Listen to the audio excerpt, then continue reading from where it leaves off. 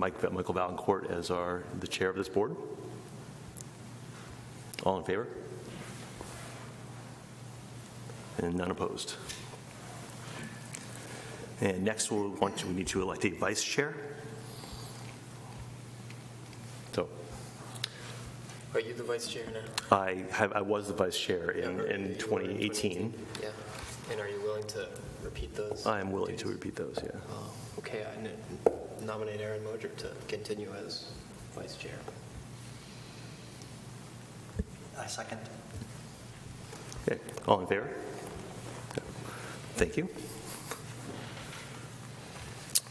Okay, on to the next item, uh, approving the minutes from the October 23rd, 2018 meeting. Has everyone had a chance to review those and, and note any issues?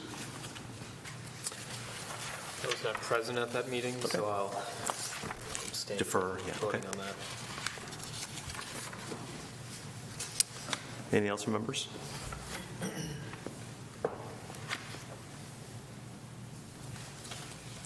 I had no wishes. I'll, I would move that we accept the minutes. I second. Okay, all in favor? That passes. Okay. And we have, again, another annual uh, um, agenda item um, to approve the ca- meeting calendar for um, the year 2019 2019. And this is usually uh, when we kind of look at this and if we have uh, specific issues with um, dates are, are major conflicts, we might want to address that now. Uh, But if they're unknown, then don't have to. Are we, are these all the fourth Tuesdays? To- or- With the exception of December 4th? Correct. Yeah. Isn't there a s- some sort of softball tournament that always conflicts with 4A or something like that? It's, it's usually the, Youth concert. yeah, it's usually the, or the, fir- the December date is usually the same night as uh, somebody's um, middle school concert or Okay. pond school, pond co concert, but Okay. it always happens. Okay. All right. Do we have to move on this? We do. All right, I I move that we accept this schedule. Okay. I second. All in favor? Passes. Okay. Okay, new business. Uh, Item one, to hear the request of Thomas Wolf, owner of the property at 102 Delano Park, map U7, Lot 8, for a conditional use, conditional use permit to create an accessory dwelling unit in the space above his garage based on section 1975 of the zoning ordinance. Is Mr. Wolf here? I, I received a letter uh, from Thomas Wolf authorizing Peter Southworth to represent him at this meeting because uh, Mr. Wolf had to be away on business, is my understanding. Okay. So if you want to step to the podium Yeah. and give an introduction. And Ben, can you tell us a little bit about this project? Yes, uh, Mr. Southworth, as a general contractor, is working for Thomas Wolf, uh, did a demolition rebuild of a single-family dwelling at 102 Delano Park, and in the process of, uh, of- in the process of the building project, uh, Mr. Wolf decided that he would like a second kitchen above the garage for when in-laws came to visit, and I advised them that in order to do that, they would need to come to the zoning board and go through this process in order to have that second kitchen above the garage. Okay, thanks, Ben. That's all we're looking for, is a uh, mother-in-law's apartment, basically. Uh, They both have elderly parents that uh, will come and stay periodically. That's all it's for. Okay. So a question for the applicant, if I may. Uh, th- th- this- The septic system is is a new septic system associated with the reconstructed or- or new Yes. construction? And, Chamber system that that will accommodate enough bathrooms and all. Okay, so it it was, it was planned to accommodate the- this this uh, accessory dwelling unit? Okay, thanks.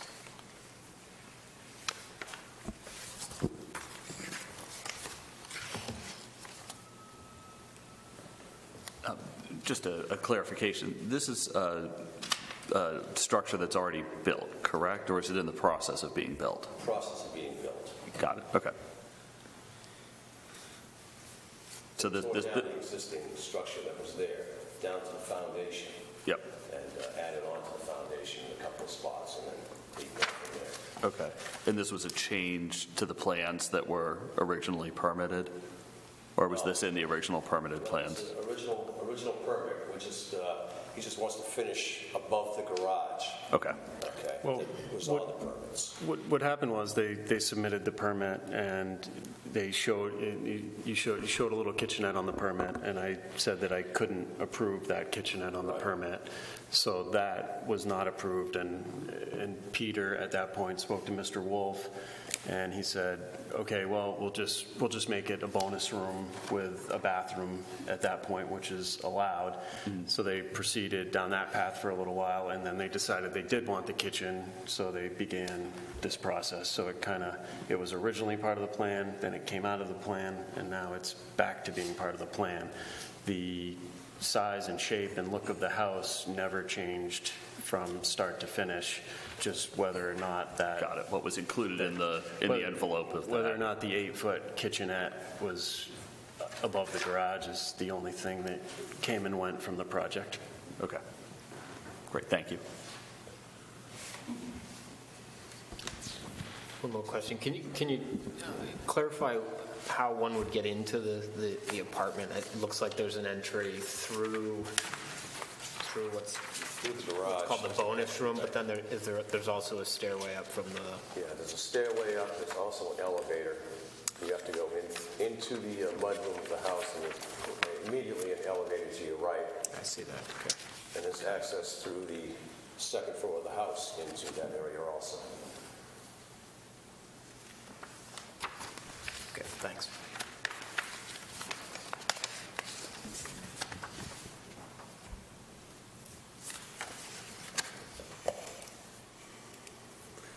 Does anybody have any further questions for the applicant?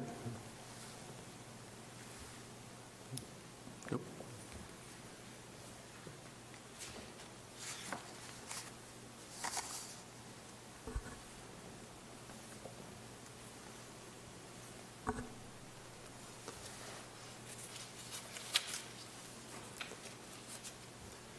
I was provided with a full-size copy of the survey if anyone needed to see anything closer. Okay, I think we're, I think we, we're good. Uh, Good. Yeah. So, Let's, you'll, you'll say, Matt? You- Yes. Okay, great. I'm calling you out because you're studying your plans. I'm reading. Okay, great. Um, also, Thank you. Thank you, yeah. Do you have any members of the public who want to, wish to speak on this matter?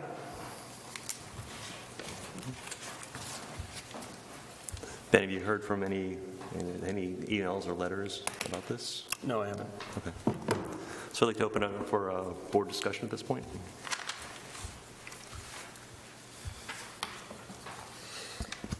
Yeah, I'll, I'll quickly just say. Actually, actually- actually, I'm sorry, I, I did receive one phone call with a couple general questions about the application, but didn't, didn't express any Okay. serious concerns.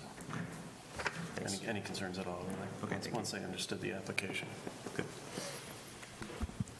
Yeah, I was just going to say, you know, I've reviewed the application and the, and the plans against the requirements of section 1975B, and I, you know, I find that generally it- meets all the requirements, uh, and to me, this seems like a, a pretty straightforward application um, that could be approved tonight.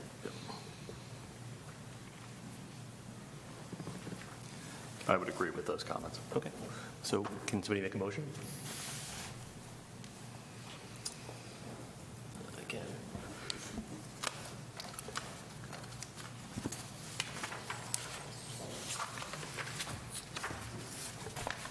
Mr. Chair, I move to approve the request of Thomas Wolf, owner of the property at 102 Delano Park, map U7 Lot 8, for a conditional use permit to create an accessory dwelling unit in the space above his garage based on section 975 of the zoning ordinance.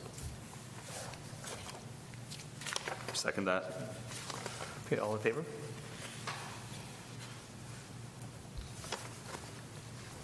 Great. Okay, we read some findings of fact, findings of fact into the record. This is a request for a conditional use permit to create an accessory dwelling in an existing single-family dwelling per section 1975 of the ordinance. Number two, the subject property is 102 Delano Park, map U7, lot 8. I have a lot six on my paperwork. Okay.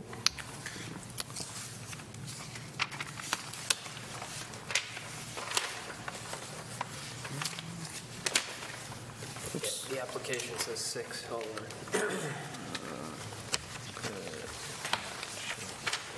Six. I see the 8 crossed out and the 6 written in next to it. I don't suppose you have that full-size survey handy, just to make absolutely sure. It'll be in the tax map anyway. right? Survey is, It would be on the tax, the tax looks like an eight to me, but it's really small.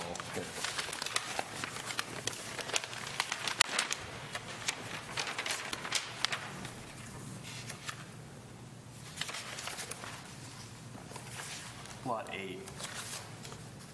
U7 Lot 8. Okay, so that's what's on the, our paperwork here. All right, so finding of fact two, the subject property is 102 Delano Park, map U7, lot 8. Number three, the owner of the property is Thomas Wolf. Do we need to on with the? Yeah. We have further additional findings of fact. The proposed, the finding, additional finding of fact one, the proposed use will not create hazardous traffic conditions when added to existing and foreseeable traffic in its vicinity. Number two, the proposed use will not create unsanitary conditions by reason of sewage disposal, emissions to the air, or other aspects of its design or operation. Number three, the proposed use will not adversely affect the value of adjacent properties. Number four, the proposed site plan and layout are are compatible with adjacent property uses and with the comprehensive plan. Number five, the design and ex- and external appearance of any proposed building will constitute an attractive and compatible addition to its neighborhood, although it need not have a similar design, appearance, or architecture. Number six, the applicant has demonstrated compliance with the requirements in section 1975.b of the zoning ordinance. Do we have a motion to accept these findings back? So moved. Second. Any discussion? All in favor?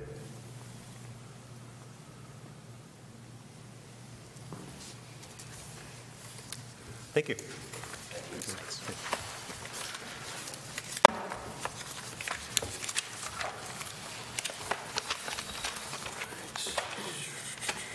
Uh, Chair, just to, I know that we, the videotape's there, but five people voted.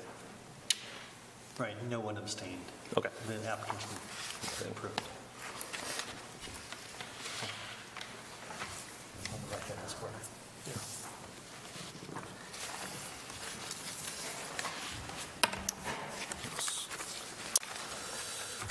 Okay, Item number two, to hear the request of Frank and Cheryl Orzel, owners of the property at 7 Crescent View Avenue, map U16, lot 63, to replace and expand a garage and mudroom based on section 1943.b.3 of the zoning ordinance.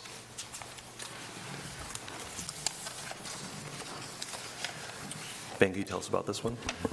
Sure. Uh, Mr. Orzel came in to meet with me several months ago with a proposal uh, to tear down his existing non-conforming garage, uh, expand it, and add a mudroom and uh, a section of porch.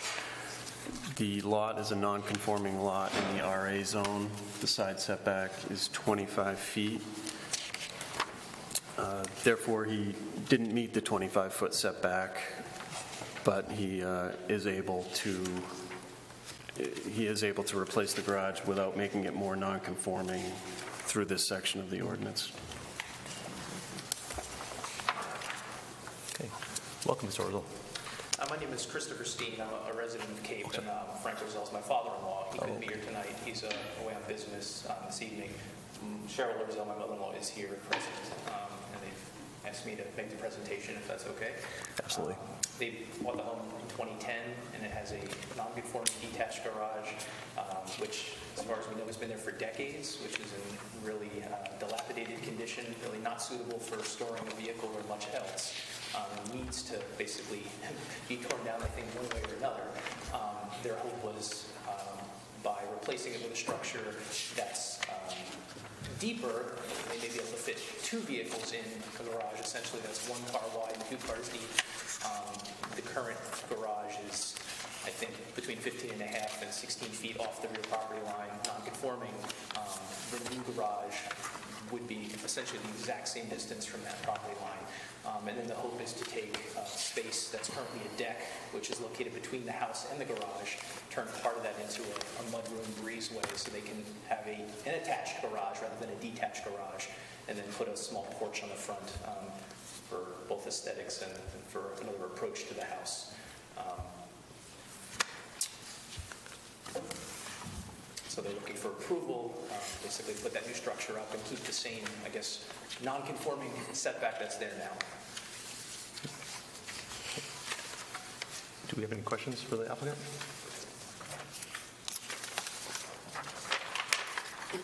I have a question, and it relates to um, the neighbor to the north, I guess, which is, this is kind of confusing because you're on the corner of Crescent View Ave and Crescent View Ave, but, so the neighbor, the neighbor closest to the, gar- where the garage is. And, you know, I, generally, I think it- it- it's a good plan. It- My, you know, the only thing I noticed was the garage is sliding east or or expanding to the east. And, you know, one of, one of the standards we have to consider is impact on views. So, you know, my, my question is, what, do you feel like there is any impact on, on the neighbors' views? You know, understanding that, that if they, if they could see the ocean, it, you know, it would be in that direction. Have you heard anything from them? Are they aware of this, or? No, I mean, yes, the, um, my mother-in-law's had a discussion with the, with the owner next door. Um, the current boundary between the two properties has a six-foot stockade fence. Um, the adjacent property has a back deck, which may be slightly elevated, but their view is into the existing garage that's there now. Um, and then if you come forward, you're basically next to, I think, their garage. And if you look in the direction of the ocean, all you, all you see now is a house. There is no water view from that location now. And so rather than seeing the house on the other side of Crescent View, they'd see partially the side of the expanded garage, but it, it would not reduce their view of any water or, I think, anything else that they would be concerned about, in my opinion. Okay, thank you. Um, so sort of further to Mike's point, that was the, one of the things that, that was noticeable about this. Do you know what the current height of the garage is, and then what their proposed height of the new garage structure would be? I don't, I don't know if it's on the rough, the, the initial prelim plans that we had. The initial garage that's there now has a shed roof. Um, It has a seven-foot garage door, probably another foot or two of soffit, and then it's probably nine or 10 feet.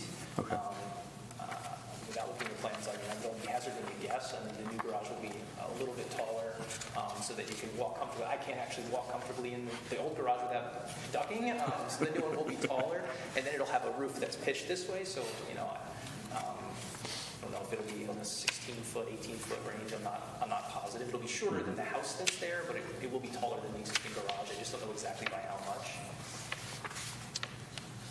And, and you, we- you don't have plans drawn up yet There is a... for that, or do we have? Yeah. Yeah, the first, first couple pages of the packet here.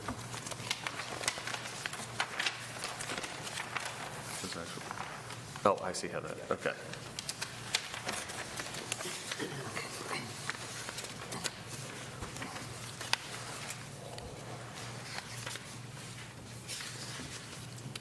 So I'm looking at uh, what we're calling picture number one here. And is that standing in front of the extant garage, looking over at this, to the, to the right of the house at this neighbor? Picture number one. Yes, that's, that's standing right in front of the existing garage, in front of the garage door looking, I guess it would be north, and that's the, the stockade fence. that was- Okay, and so basically the- where the, the photographer is standing, in this place is kind of where the addition would. Exactly. Okay, okay. And so basically, we're seeing here the the stockade fence, and then they've got the- these plantings actually behind it, too, that are growing? Yes. Okay. Okay. Additional question.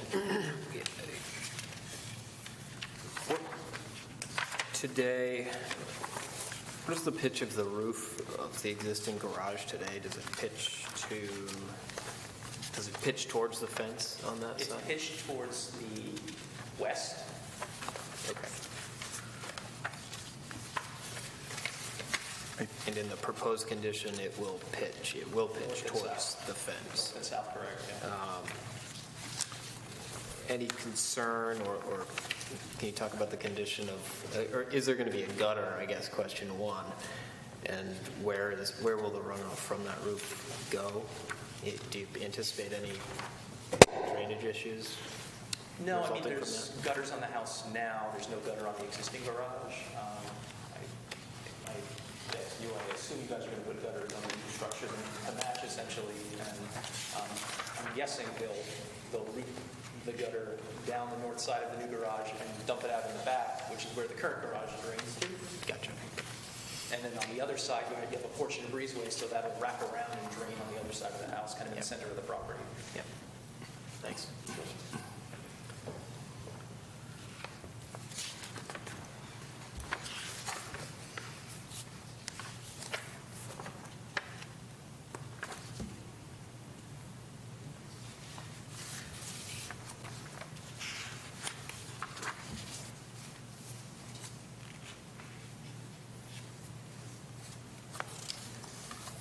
I have a question for you. Sure. So on,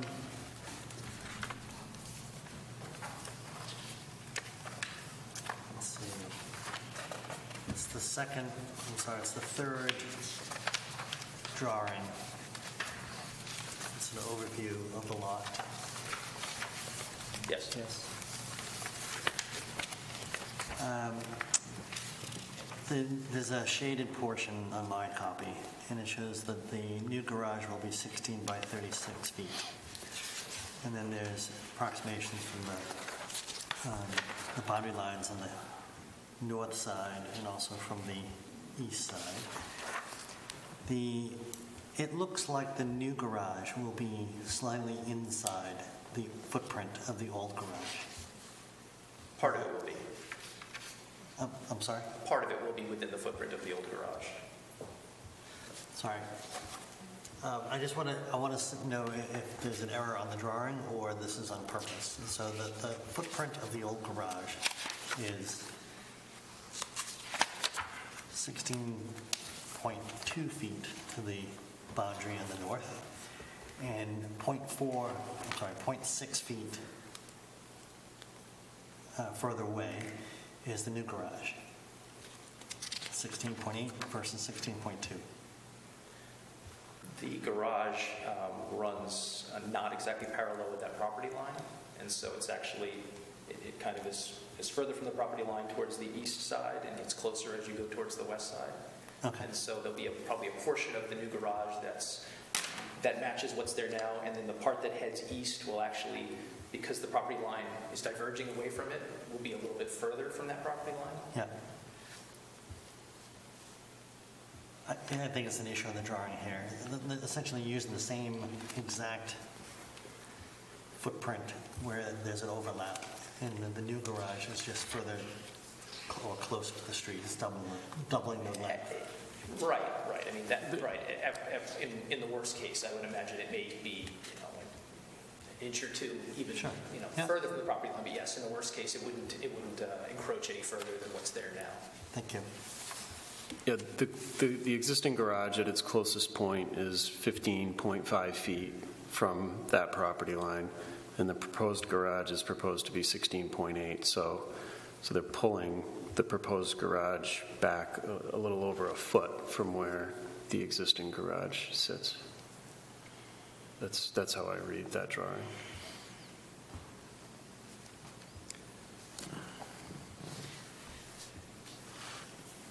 Yeah, the, the the back of the existing garage is 15 and a half feet from the property line. The front of the existing garage is 16.2 feet from the property line because they are not exactly parallel. The new garage will extend forward, and actually the back of it's being, being brought in a bit. So the smallest separation from the property line, which would be at the very back, would still be more than 15 and a half feet because that closest point's being shifted forward as, as the two lines diverge from each other. And this, and this can be done because there's actually nothing in between, uh, there's no structure in between the house and the garage right now. So you're basically sta- expanding and making a larger garage and There's a filling that in? deck right now. Okay. The deck will be, you know, uh, reduced in size, and then a portion of the deck would be removed and replaced with that mudroom. Okay.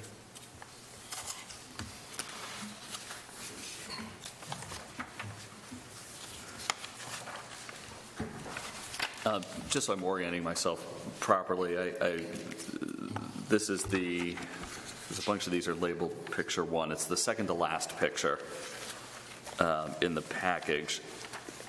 I believe this is being taken from the north facing south, Correct. and it would show on the right side where the uh, new garage and and mudroom would be located, correct?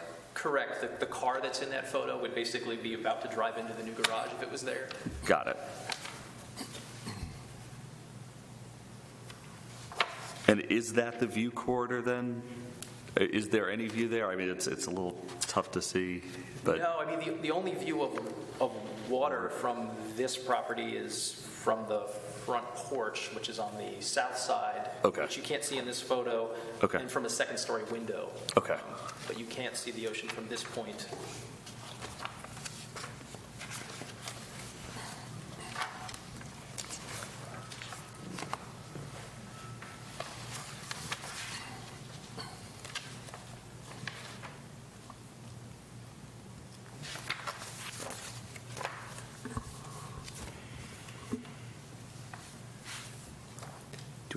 Questions for the applicant?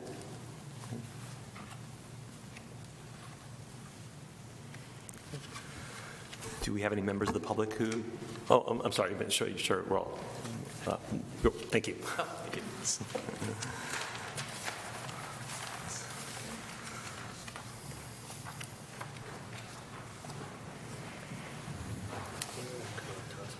Can you- Could you state your name, Hi, uh, yes, address for the record? Scott- Scott Irving, I live at 27 Crescent View.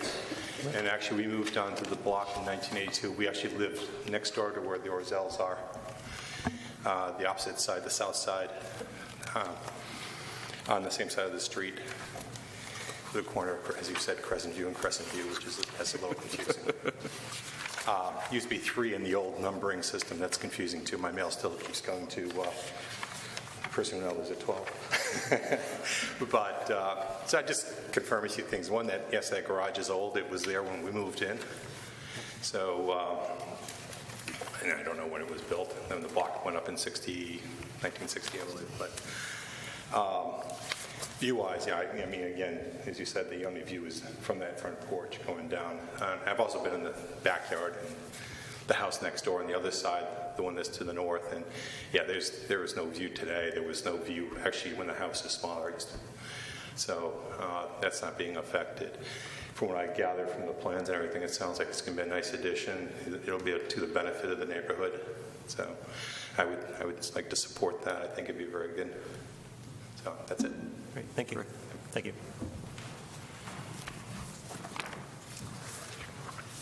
Ben, have you received any uh, correspondence from residents? I did not. Okay. So I'd like to open it up for a board discussion.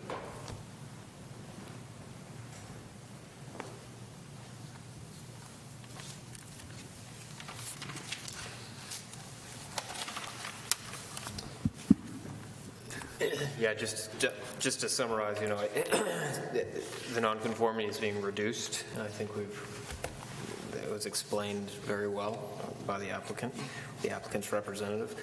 Um, And, you know, when we, when we go through the, the review standards that we're required to, to look at, um, in in determining whether it meets the setback to the greatest extent practical.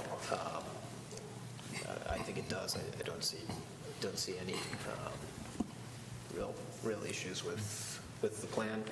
Um, it- When I first looked at it, I- I did have minor concerns about the view from the north, but um, seeing the pictures of that, the fence and the tall arborvitae that are on the other side of the fence that you noted, uh, I'm no longer concerned with that, and we haven't heard anything from that neighbor, so, um, so I'm comfortable uh, supporting, supporting this application. Um, One clarification um, is, maybe for Ben, is this a non-conforming lot, or is this just a non-conforming structure on a, on a conforming? It's both. Okay. What is non-conforming about the lot? Is it the lot size? It's, yes, it's less than 80,000 square feet. Gotcha, thanks.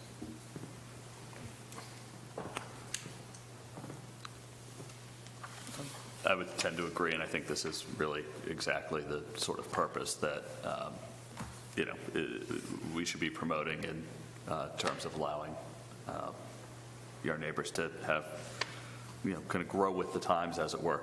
Uh, I would just point out, uh, you know, there's no addition to the bedroom count here, so the septic system appears also to be uh, in conformance, so I'm supportive.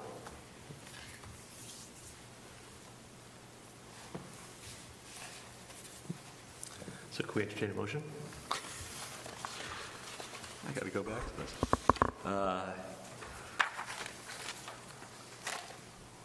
um, All right, so I I move uh, that we approve the request of Frank and Cheryl Orzel, owners of the property at 7 Crescent View Avenue, map U16, lot 63, to replace and expand a garage and mudroom based on section 19-4-3.b.3 of the zoning ordinance. Do we have a second? A second? All in favor? It passes unanimously with one missing member.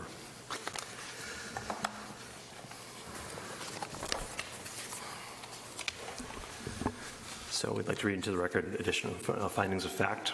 Uh, Finding of fact number one, the property is a non-conforming lot in the RA zone. There is an existing single-family dwelling on the property. Additional findings of fact. Number one, the zoning board of appeals has considered the size of the lot, the slope of the land, the potential for soil erosion, the location of other structures on the property and on adjacent properties, location of the septic system, the impact on views, and the type and amount of vegetation to be removed to accomplish the relocation. Number two, the proposed structure will not increase the nonconformity of the existing structure. Number three, the proposed structure is in compliance with the setback requirement to the greatest practical extent. Do we have a motion to accept the findings of fact? I have one suggested um, edit, I guess. Finding of fact number one, the property is a non-conforming lot in the RA zone. There is an existing single-family dwelling on the property. I think we should note that the, the existing house is also non-conforming. There's an existing non-conforming single-family dwelling. I I think that covers it for me.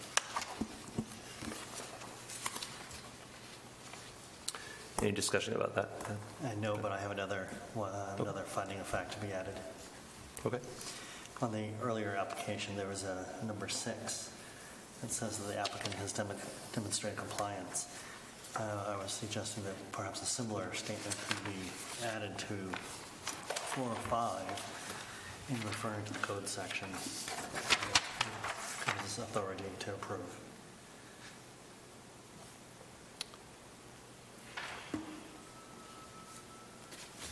The applicant has demonstrated compliance with section 1943B3. Yep. Yep. Okay.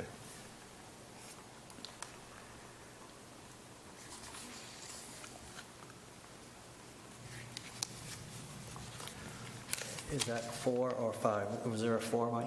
No, just, That that would be four. That would be number four, next one.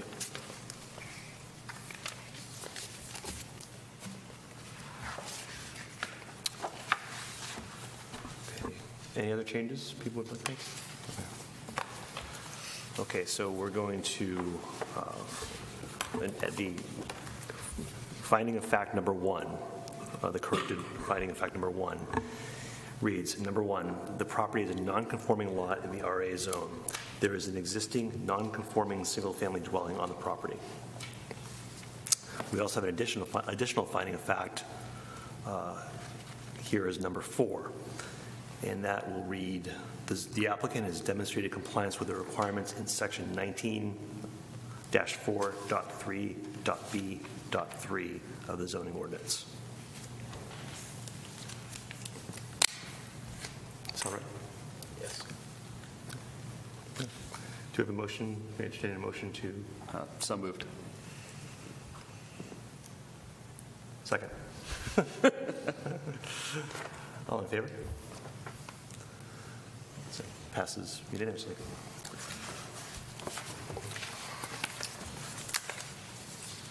Thank you.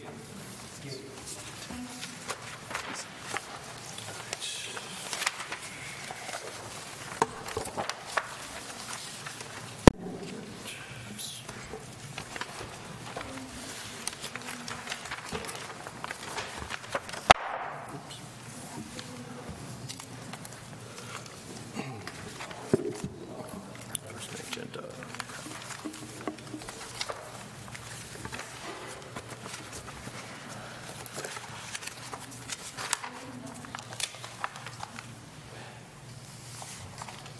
Okay, On to the next item. To hear the request of Stephen Pondelis, uh, representing the owner of the property at 226 Bowery Beach Road, map R09, Lot 40, to expand a single-family dwelling by adding an attached garage based on section 19-4-3.b.4 of the zoning ordinance. Mr. Chairman, I'd I'd say something for the record. So I've worked uh, professionally with Mr. Pondelis in my business. Uh, We we share common clients. Uh, I don't think that's a a conflict for me in reviewing this application, but just wanted to put that on the record. Okay, thank you. Ben? Ben? Sure. I've met with Mr. Pondelis on a few occasions to discuss this property, and he was trying to figure out a solution for the owners of this property to be able to get into their, get from their garage to their house and remain undercover. And kind of a a difficult property, the way the barn is situated, and uh, the way the Route 77 right-of-way comes uh, roughly 50 feet into the front yard of this property. It's, a- it's an odd situation. So when you add the 50-foot setback line, the, uh, the setback of the property is almost 100 feet from the edge of the pavement. So it's, it, it's an odd situation, and uh, he's trying to provide them with a garage to get into their house undercover. That's the goal of the project. And I advised him that it appeared the only way to do that would be to use this zoning provision. Thank you. Could you introduce yourself to, uh, for the record? I'm Stephen Pondelis, I'm an architect in Yarmouth, and I'm re- representing Dick and Kate Gilbane, who can't be here tonight. They're um, at a family matter that they had to attend to out of town. Um, They, they came to me and asked me um, if I saw any way that we could provide them with covered parking attached to the house in an area of the house that um, that makes sense for them. They, occasionally they'll park at the bottom level of the, of the barn. The, the, the main level here is no longer set up for, for cars.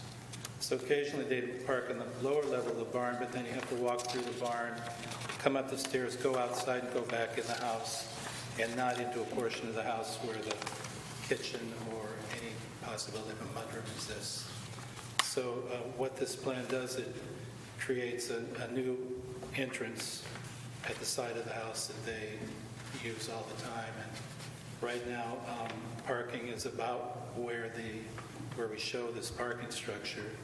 Um, That's where they come in, that's where everyone parks. And um, it seemed like the, the, it answered most of the issues that they have with the property. Um, they understand that their house is non-conforming with with the 50-foot setback, and they asked if it's possible to, um, to do a parking structure in this location. And i said we met with um, Ben, and um, uh, we're advised that if it's not making uh, the property more non-conforming, that it could be a possibility, and um, that's what we're here tonight, to ask you for permission to continue in this direction.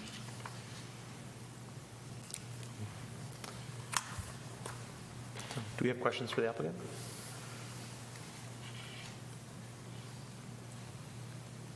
So I- guess just so I'm clear, and this is partly, I think, for you and and partly for Ben, the existing, we're calling the bottom of the stairs here, and the front, the 26 feet is the existing nonconformity, correct? Correct. So as long as we stay within that line, we're not increasing the nonconformity. Correct. Okay. Uh, I guess one of the things we consider on these requests is, you know, we call it the the setback requirement to the greatest practical extent. Was there, were there any other options for the location of this that were considered? Maybe you could walk through sort of why here as opposed to, you know, further back, further to the side? Is there? Sure. Um, The, um, the kitchen entrance, which is what everybody uses, is between uh, where we're showing this new parking structure and the barn. But the kitchen is, you walk, that- that door, you're right in the kitchen. Okay. There's no opportunity for a mudroom there. That was one of their other requests, that if there's a way, we could attach parking to the house, they could provide a place where they could actually kick off their boots and hang up their coats and not bring the weather right into the kitchen. Um, Also, bringing, bringing it that far forward um, would create a problem with, with getting out of the parking and, and not right in the face of the garage. So um, it seemed like that was the best option of all that, um, that were possible. Um, The other thing that's attractive to them about this location is that the weather comes from that, from that end. It also blocks the, kind of blocks the wind and the driving rain from the uh, southeast, I guess it is. Got it. Um, And they're not looking for um, three closed garage stalls. They, they want this to be compatible with the kind of the farm agricultural vernacular. So it's really an open parking structure. Okay. And it just solves a lot of problems for them. It also provides a place, there's a little storage area for trash and recycling, which they don't have now. Um, For such a big property, it seems like there would be a lot of options, but this, you know, process of elimination, we kept coming back to this location. Yeah. So they've asked me to uh, see if we can do that. I could, I could uh, definitely see the challenge. I mean, it's a, it's a very um, obvious property when you're, you know, coming around Route 77. So you actually answered another question of mine, which was, there are no doors on the garage. It's an open structure. I didn't see that that mattered anywhere in the zoning code, whether there were doors or not, but uh, Yeah, I don't- that was a question I, I had for Ben as well. I- I don't think it does factor into the zoning. Okay. And I can attest to the fact that, you know, I sent Mr. Pondelis back to the drawing board several times on this, and he, he really did try to figure out something that would meet setbacks, and there were uh, obvious roadblocks to all the other solutions, but he, he did put the effort in. And there's no additional curb cut that's required? That's, No, it's- that's already there, that's existing? Existing driveway, Okay. and that area I showed in green combined with the existing gravel driveway and the, where the parking structure is, is where they park now, and it's all gravel right now. So we'll be um, adding gravel on the barn side, but returning uh, the gravel to the lawn where we showed it in green. And then, not that there's any additional bedrooms, but the septic system is an- of an unknown and size, and, Um, I I guess I can't say that it's of an unknown date. We've got the size there, the approximate location, um, which is down um, plan, down plan from the barn. 56 by 15 foot disposal system. Does that show on your, Uh, It shows on that, it's just on the, it doesn't say what the flow or gallons per day is on that, so, or the, the, I didn't know that it applied because there's no plumbing or bedrooms. um, But it must be on record to the town. I didn't, I didn't look. Yeah, I'm, I'm sure I could find that information. But yeah, I don't, I don't think it's necessary yeah, for I this don't- I don't think it's necessary either, but since it- it's one of the things that comes up on the findings of fact, it's always good to Yeah, try to have the information. I So- think I I misread what the question about septic was about. I just, uh, I sort of misread it to, to, uh, to, I thought the question was asking if this new structure is going to be um, near the septic system or too close to the the septic system or to preclude a future septic system. I wasn't quite sure what the question referred to. you you could find that there's no effect on the septic system. Yeah.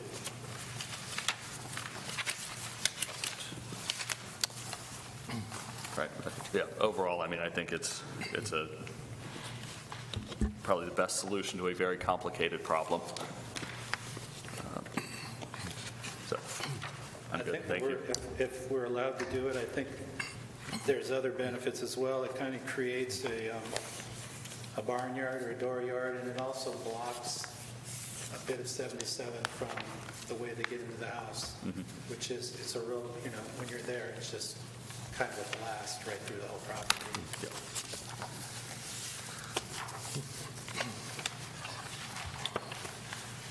Do I have any additional questions? Yeah. Thank you. Do you have any members of the public who would wish to speak? Nope.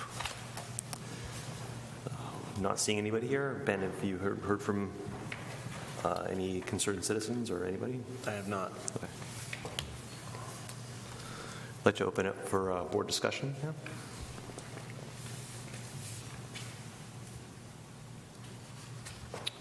I'll say, I- I do like the application, and I also didn't know that uh, Route 77 had a 150-foot wide right-of-way. So definitely makes the setbacks interesting. Probably didn't look like that in 1814. No.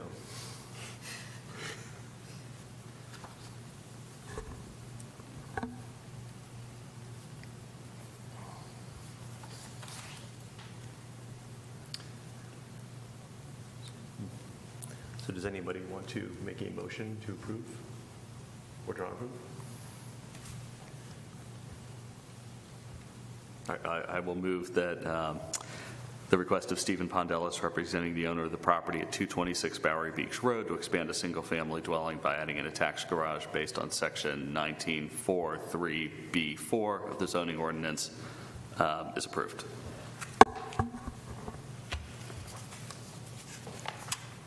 We Add, add the map and lot number. Oh, yeah, sorry, map R09, lot 40. Friendly amendment to that motion. I'll second that. All in favor? Motion passes. Six, one, two, four, five, five, zero. Count. Okay. So we'll read additional fi- uh, read findings of fact. Uh, Number one, the property is, confor- is, is property is a conforming lot in the RA zone. There's an existing fam- single-family dwelling on the property. Like to modify that to single? Non-conforming, Yes. single-family dwelling. So, again, number one, the property is, is a, confor- is a conforming lot in the RA zone. There's an existing non-conforming lot, uh, non- non-conforming single-family dwelling on the property. Additional findings of fact. Number one, the Zoning Board of Appeals has considered the size of the lot, the slope of the land, the potential for soil erosion, the location of other structures on the property and on ad- on adjacent properties, location of the septic system, the impact on views, and the type and amount of vegetation to be removed to accomplish the relocation. Number two, proposed structure will not increase the, will not increase the nonconformity of the existing structure. Number three, the proposed structure is in compliance with the setback requirement to the greatest practical extent. Just a a friendly amendment on one, I think instead of relocation, it's enlargement?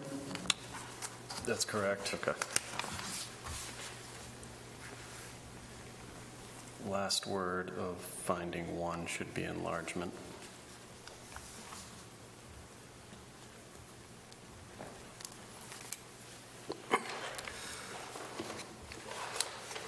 For for consistency, shall we add additional finding of facts number four? Yes. Yes. Going to the last. The Matt Caton amendment. The applicant has demonstrated compliance with the requirements of section 19-4-3.b.4 of the zoning ordinance. And that would be additional finding of fact number four. Correct. Okay.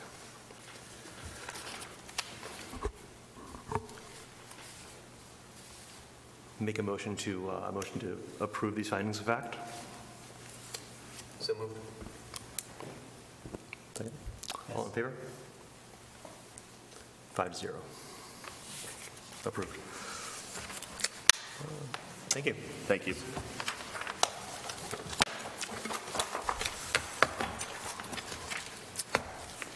Okay, for our final matter tonight, we will hear the request of Lisa Cotter, owner of the property at 14 Woodland Road, map U1, lot 13, to expand her single-family dwelling by adding a second floor based on section 19-4-3.b.4 of the zoning ordinance.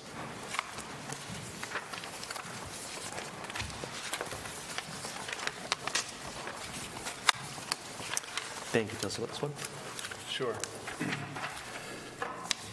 I've been working with Ms. Cotter for several months, if not years now, uh, on a new home she purchased, uh, trying to get a little, little more space in the house, considering, she considered several different horizontal expansions, and uh, she finally settled on going upwards on the house was the most practical way to go.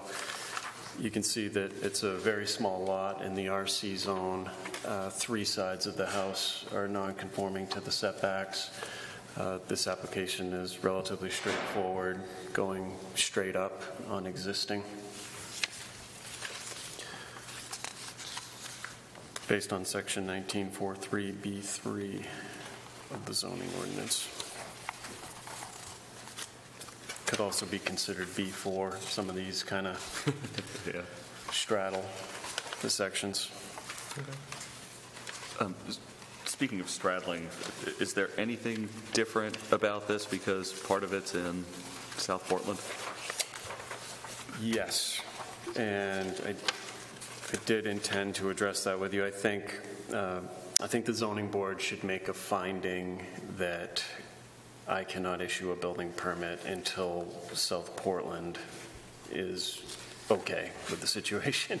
We we could, we could word that language a little better. Okay. But I, I think that should be a condition is uh, that we get an approval from South Portland prior to my issuance of the building permit. It's a very, very small portion of the house, a few, a few square feet of the house is in South Portland, but we do need to respect their jurisdiction over that corner of the house. All right, thanks, Ben. Good evening. Good evening. Can you uh, tell us your name and address for the record? Lisa Cotter, 14 Woodland Road. And I have been in touch with Matt, who is the um, uh, code enforcement officer for South Portland. And my builder has um, given him a copy of the um, survey, and he has requested um, plans for the house um, once we get a ruling here. Okay. And do you know what your time frame is for, uh, you, will you have to, you'll have to receive approval from their zoning board also? Um, They just have to review them. Um, He seemed to uh, indicate, I've um, emailed him a couple of times and heard back from him a couple of times in January, and he seemed to indicate that it was um, their procedure to review the plan, but he didn't expect any problem. If you can see on the um, survey that there's, The only thing that will, excuse me, affect South Portland is um, the very corner of the house. So essentially a roof line.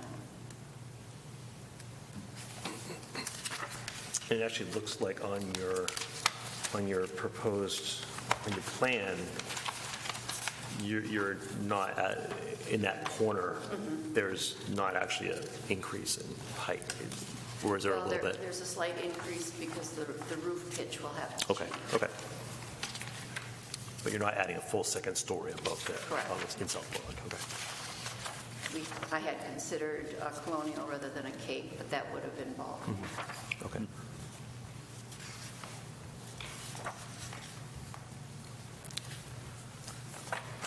Good. Hi there. Uh,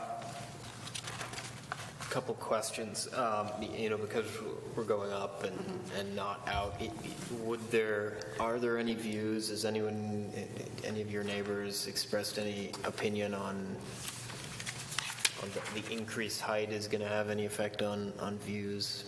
No, I've just had support from all of my neighbors. Their biggest question is, when are you going to get started? Because I've been in this planning process for some time. Great. Uh, Second question, uh, will there be any change to the, the direction um, that stormwater would run off the roof? Are there gutters today? Uh, Will there be gutters on the, on the enlarged house? Um, And are there existing drainage issues, and and do you see this having any effect on drainage around the house? There's no um, current draining issues, um, and there are gutters on the house right now, and there will be gutters on the, on the, on the new house. And will they discharge to the same location? Exactly. Thank you.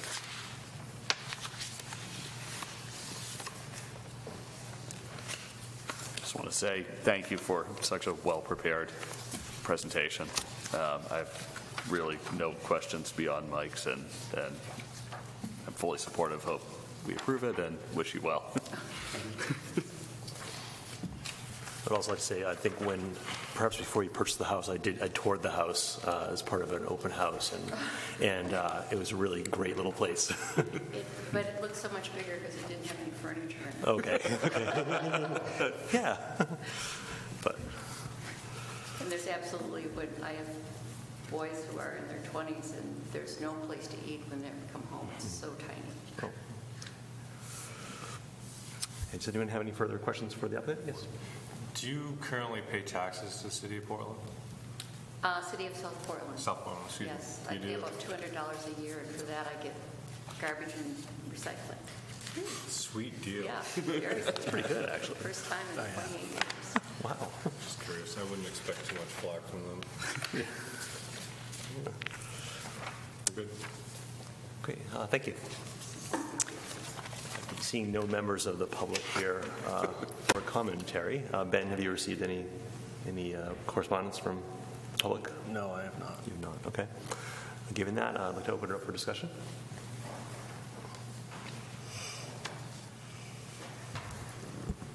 I Go have nothing to say other than the wording of the South Portland nuanced part of the application, or or the, um, the findings of fact. So I'm, I'm content with the application. Okay.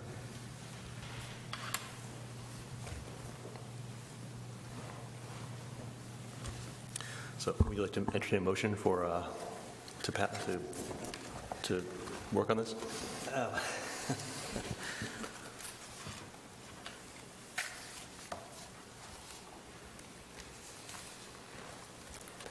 I move to approve the request of Lisa Cotter, owner of the property at 14 Woodland Road, map U1, lot 13, to add a second story to a single-family dwelling based on section 1443B3 of the zoning ordinance. I would just correct, you said 14, it's 19, sorry.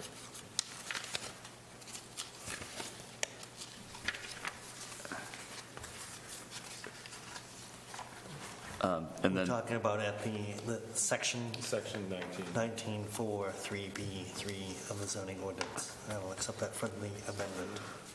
I, I think a- as a friendly amendment, I know that's how it's listed on the um, matters before the board and the findings of fact, but the public notice referenced B4, and so I think it might be better to, to do it under B4, since that was the public notice. I think B4 would probably And I think that- be more appropriate anyways. Yeah. Enlarge, so what what we're talking about, i- does this fall under enlargement or is this reconstruction or replacement? And In my mind, it's enlargement.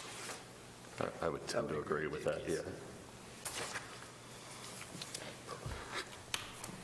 Okay. The, the the uh, determination or, or the- our review is nearly identical in both cases, but um, but I, I think you're right. I think it'd be more accurate to, to be reviewed under 1943B4. The provision under paragraph three says that for a reconstruction or replacement, one of the criteria is that it will not increase the number of square feet of floor area, and that cannot be, it's an impossibility in our situation. Yeah. So B4. Well, uh, yes, um, but this has to do with um, uh, a de minimis, oh, an error, a clerical error on the notice.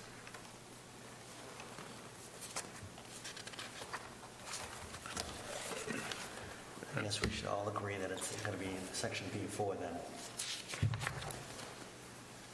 as per the notice, and the actual findings was incorrect. But we haven't done the findings yet, so we can, Right, so the notice was accurate. Yeah. And we're And we'll amending, correct it on the- amending the findings, which is the better way to Go go. with enlargement versus relocation. Yep. although we still have to, that was a motion, right? I will withdraw my motion.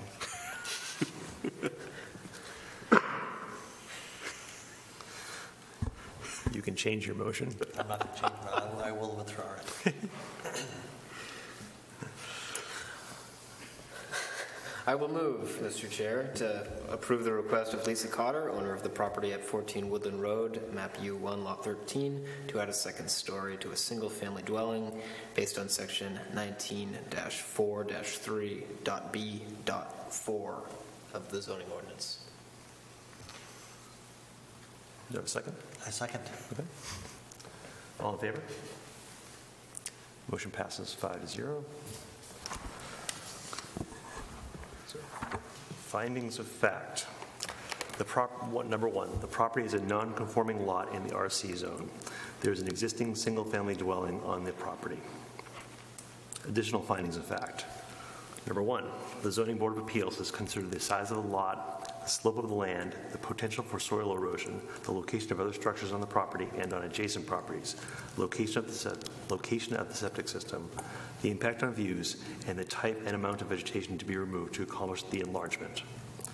Number two, the proposed structure will not increase the, will- the proposed structure will not increase the nonconformity of the existing structure. Number three, the proposed structure is in compliance with the setback requirement to the greatest practical extent. What's our wording for number four that we've been adding?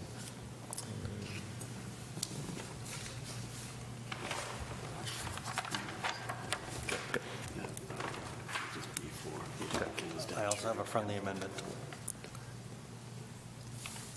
Sorry. Uh, On, on, um, it's paragraph one, the last word, rel- relocation. Should be enlargement. Enlarge. I, I read it as lo- enlargement. Correct. Okay. okay. Yeah. Thank you. Okay. So uh, finding of fact number four, The applicant has demonstrated. the applicant has demonstrated compliance with section 19-4-3.b.4 of the zoning ordinance. Thank you. And so now we need, we want to add the, the finding of fact five based on, on uh, South Portland. Uh, Do we have a proposed finding fact for that? Uh, I'll take a stab at it. Uh, I was going to say, prior to issuing a building permit, the code enforcement officer uh, shall receive satisfactory evidence that South Portland has approved. Or what are you, what are they approving, the issuance of a building permit, or just the, Well, That would be a condition, not a finding of fact, right? oh, you're right, that would be, It's better as a condition, but, uh, Okay. yeah, they're, uh, they should confirm zoning compliance with the portion of the expansion that's in South Portland. Okay. So prior to issuing a building permit, the code enforcement officer shall receive satisfactory Evidence. evidence from South Portland that the portion of the project in South Portland is in compliance with their zoning ordinance. Works for me. You said that again, Ben? Uh, prior to issuing a building permit, the code enforcement officer shall receive satisfactory evidence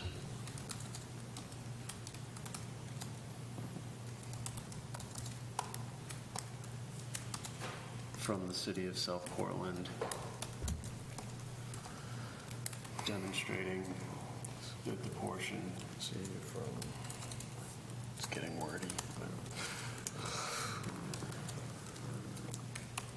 So prior to issuing, uh, prior to issuing a building permit, this, this code enforcement officer shall receive assurance from the, Sure. assurance from the city of Portland, South Portland, that the, portion of the project within South Portland is compliant with their zoning ordinance.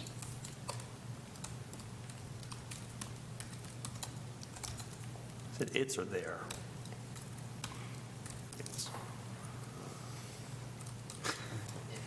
It's, it's, yeah. Okay, so here. Prior to issuing a building permit, this, the code enforcement officer shall receive assurance from the city of South Portland that the portion of the project within South Portland is compliant with its zoning ordinance. Sound okay? Great. Is there more, or I have a query for you? I'm sorry, but Point of order. When you say the city of South Portland, are we saying the entity or can an agent, such as code enforcement officer, provided evidence? For example, I, I, I think, I think it would make sense to say South Portland Code Enforcement Officer. Yeah, that, that's fine. I- yeah. I'm hoping that it's an email type of exchange Yep. would be sufficient, but that's good to have it be a, to have it be a, a specific entity that will be responsible for it.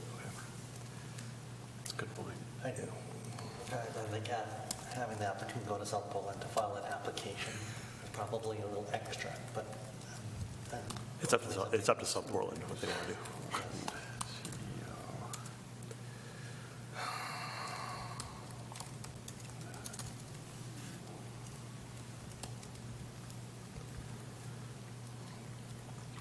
So I have, prior to issuing a building permit, this, this code enforcement officer shall receive assurance from the code enforcement officer of the city of South Portland that the portion of the project within South Portland is compliant with its zoning ordinance. Great, okay. Okay, so, and we want to not put this in additional findings of fact, but put in a condition. You want to ask her if she accepts that condition? No. Would you accept, do you accept that condition? Does that sound right to you? Yes. Okay, thank you. I had another query for you, is whether we should ask for their cooperation if they don't. I don't want this to have a, a, um, a loggerhead, I I want resolution.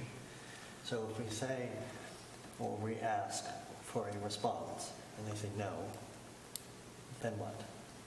Would it be helpful for you to review the emails that contact, that would have copies? I I don't believe so, because I, I think, I don't see why this would break down. I think what we're talking about is just like, just in case. I mean, I, I think our goal is to not have to have you come Right. back before us, but to leave this within the purview of, of our code enforcement officer. Um, So if we think we've done that, then I think we should be okay here. If we need, if we need to give the code enforcement officer more leeway, then I would suggest we do that. But I I think we're, seems to me like we're good with what we have. We are hopeful that the answer is going to be positive coming back, okay, yeah. Well, I mean, they, they, they're- they make their own decisions, I guess, though, Yeah. right? Can't really compel them. Persuasion's a wonderful thing. Well, maybe we can convince the council to uh, annex the uh, 25 square feet. But then you'll lose your trash service, so sorry. It's a good deal. I'll be persuasive. Yeah, Okay, okay, okay. Uh, Okay, so uh, for housekeeping, where in our, this is a not, I'm- I don't think I've dealt with a condition uh, before, so was this, where do we put that in the the approval? I, I- would just put it as a condition uh, prior to the decision to approve. Okay. It's a condition Like if you approval. change the word conclusion to condition. Oh, okay.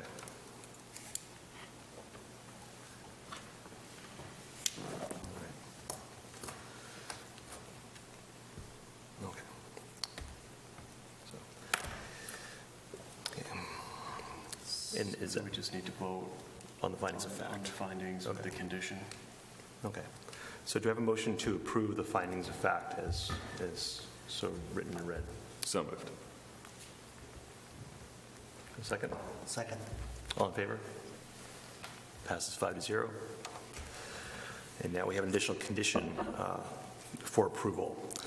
And this reads, prior to issuing a building permit, the code enforcement officer shall receive assurance from the code enforcement officer of the city of South Portland that the portion of the project within South Portland is compliant with its zoning ordinance. I move that we accept that condition. I'll second that. All in favor? Passes five to zero.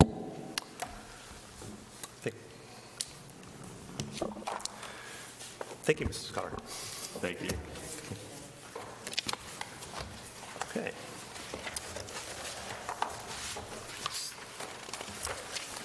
Okay. And that concludes the, uh, the meeting for tonight. Thank you.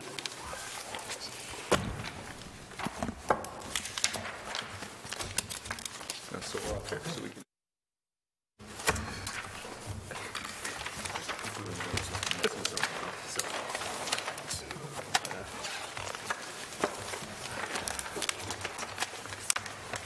Hey, Ben, is this the first time uh, that's like half in South Portland, half in Cape comes up?